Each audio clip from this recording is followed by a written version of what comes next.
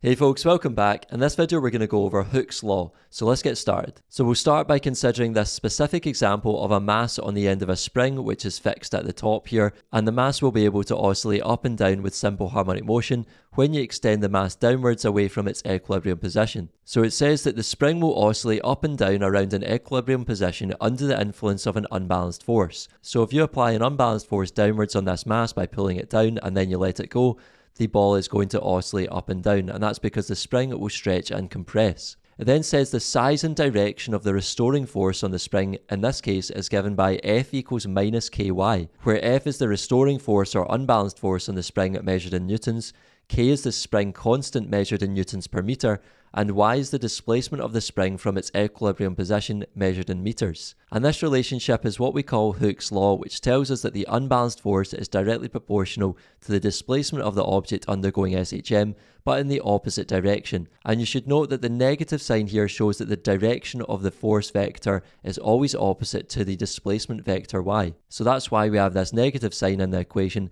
It tells us about the force and the displacement acting in opposite directions. Now, one last thing to point out is that you might see this equation written in a slightly different way. You might see it written as f equals minus kx instead of minus ky. And that's because if the object was moving horizontally, i.e. from left to right and then from right to left and so on, then it would make more sense to talk about the displacement being x rather than y. So in this case, we were talking about the ball moving up and down, i.e. in the y direction, so that's why we've used y for displacement here. But if the object is moving horizontally, then you could equally just use x here. Now I'm just going to show you a quick animation to help you understand this. So here we have a spring which is fixed at one end and then attached to this lever here which can pull it and compress it. And right now I'm using a spring with a spring constant K of 200 newtons per meter. So to investigate Hooke's law, what you could do is change the applied force to this spring and then note down the corresponding displacement value of the spring. And then you could plot this on a graph of displacement against force and then find the gradient from your graph, which I'll show you in a minute, but you'll see here if I change the applied force, let's say in steps of 10 newtons,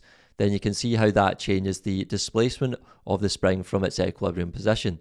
So if I went up every 10 newtons, say, and then took down the value of the displacement, I could then plot those values on a graph. So with an applied force of 10 newtons, you can see my displacement of 0.05 meters. If I then increase it to 20 newtons, you can see I now have a displacement of 0.1 meters. So the two values here, the displacement and the force, should be directly proportional. And remember that was from our definition of simple harmonic motion. So again, you should see increasing up to 30 newtons, it goes to 0.15 meters. And then up to 40 newtons, you should see it at 0.2 meters, and so on. Now, the applied force here, that is not the restoring force or the unbalanced force, that is the force that is causing the spring to stretch here. But if I click this one here called spring force, that shows you that it's got the same magnitude as the applied force here, but it just acts in the opposite direction to try and make the spring move back towards its equilibrium position. Now I did say earlier you can plot this on a graph, so if you look at this graph here, we've got applied force on the y-axis against displacement on the x-axis, and if you were to plot a graph you would see this directly proportional line here.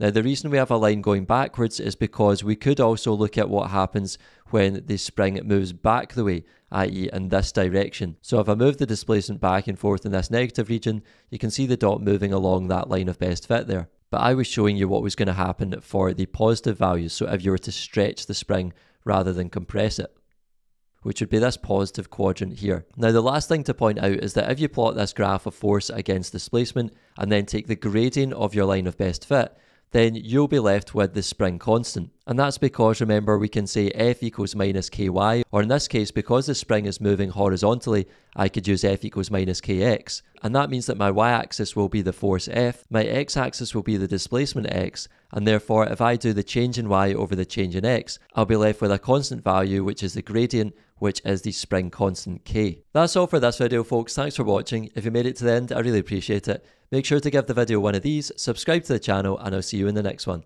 Take care.